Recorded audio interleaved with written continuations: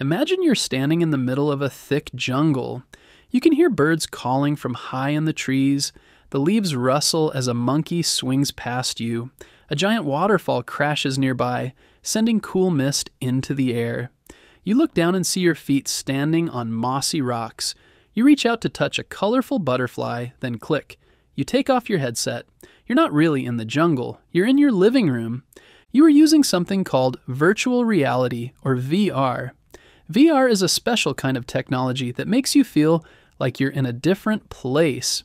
When you wear a VR headset, the screen shows pictures that move when you move your head. The world you see is made by a computer, but it feels real. VR is different from other types of reality technology. There's also augmented reality, or AR, also called mixed reality. That's when you can see the real world, but with computer images added to it. For example, if you look through a phone or tablet, you might see a cartoon character sitting on your couch. Glasses that show the time or other images on them are an example augmented reality because you can both see the real world overlaid with some virtual images. Some of the newer VR sets include mixed reality because you can see the real world through a camera on the headset. The story of VR started long ago.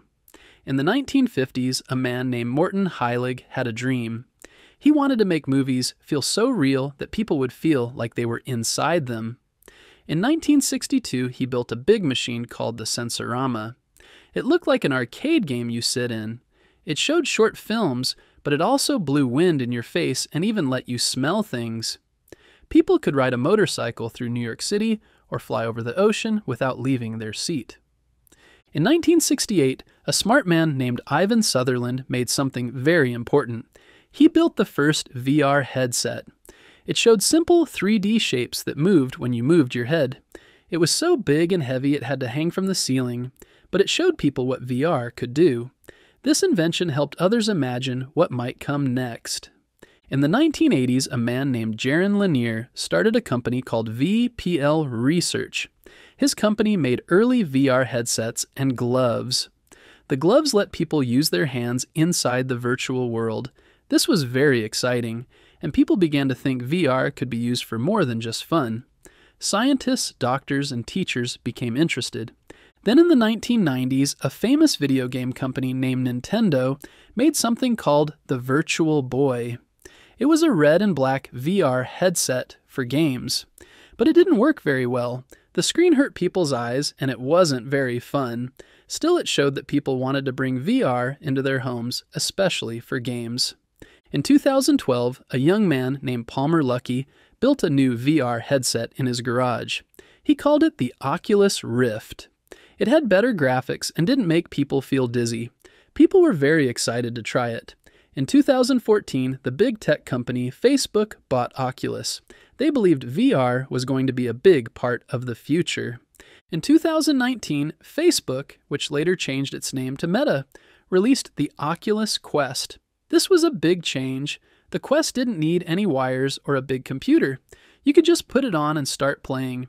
It had cameras to track your hands in your room so you could walk around and move naturally.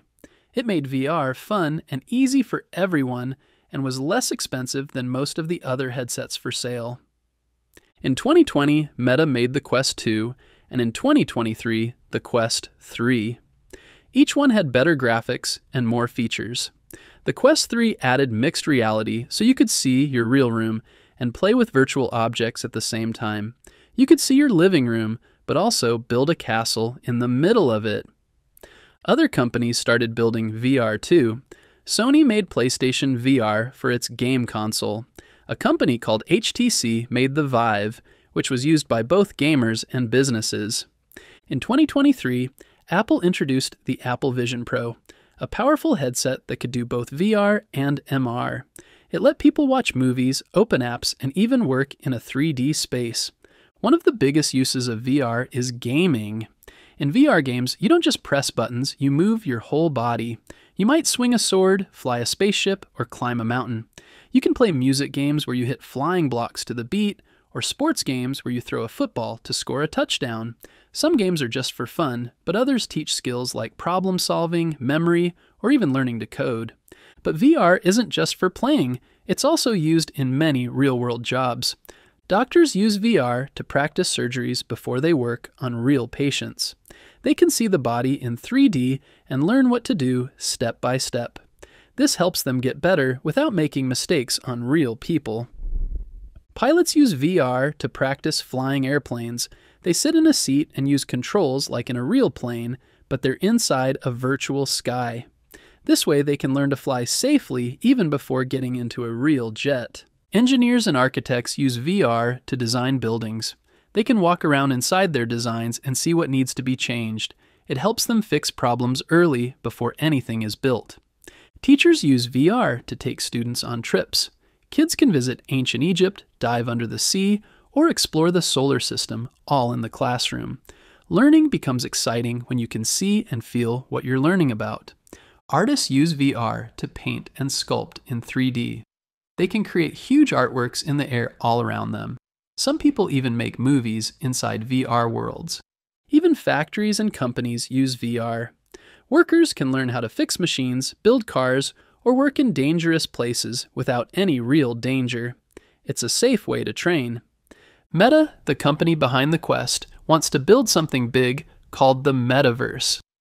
This is their idea of a huge virtual world where people can meet, work, play, and explore. It's still being built, but Meta is spending a lot of time and money trying to make it happen. Today, VR is everywhere. You can play games, learn new things, or even talk to people around the world. The technology keeps getting better. The headsets are getting lighter, the pictures are getting sharper. Now, with a headset and your imagination, you can go anywhere the jungle, the moon, the past, or the future. The world of VR is still growing, and maybe one day you'll help build it too. too.